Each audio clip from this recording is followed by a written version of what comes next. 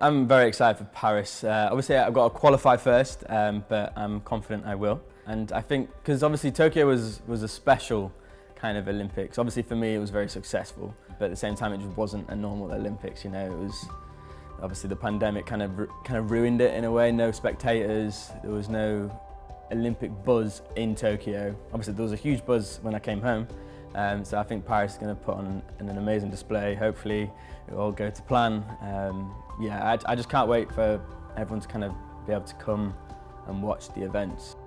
The Great British public, uh, when, they, when they play uh, the National Lottery, they're also, you know, they've got a chance of becoming a millionaire, but at the same time they are supporting like thousands of athletes um, in, in our country to, I guess, be the best. And like, honestly, without the National Lottery, I wouldn't be here today. Uh, I, don't, I wouldn't have won a gold medal at the, at the Tokyo Olympics. Like, all I can say is thank you to all the players because Team GB, we wouldn't be as good without you guys.